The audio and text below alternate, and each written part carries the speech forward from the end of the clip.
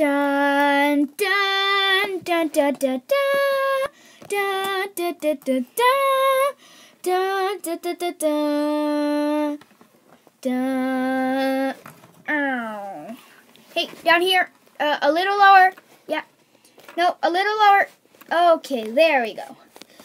So, hello, folks, to the new Star Wars movie! Yeah! Dude, this isn't Star Wars. This is actually just a story, like one of those fantasy stories, whatever you say, like dragons, beast, whatever. Anyway, get it right, or else you're gonna get fired.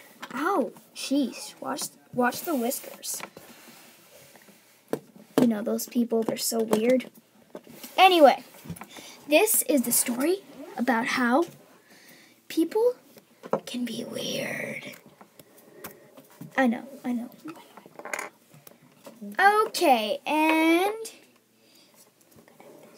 here we go. So, the princess was riding in her palace with the gem, a crystal ball with the gem, whatever you say. And then,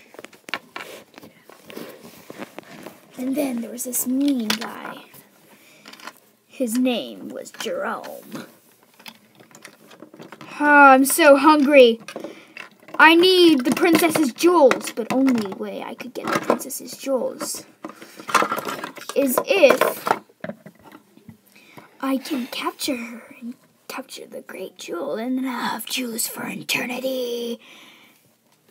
Now, let me just fly over there. Oh, and if you're wondering what I am, I am nothing. And now let's go. Where is the princess? Where is the princess? I need the princess. Why would I tell you, Mister? Get down lower to the ground. Why would I tell you? Boom, boom, Oh, boom, uh. boom. And now, princess, I will take you for good, and I will keep the gem. And no one else will take will keep will take you back, and you will die. Ha ha ha. Oh no, I'm stuck in the dragon's den.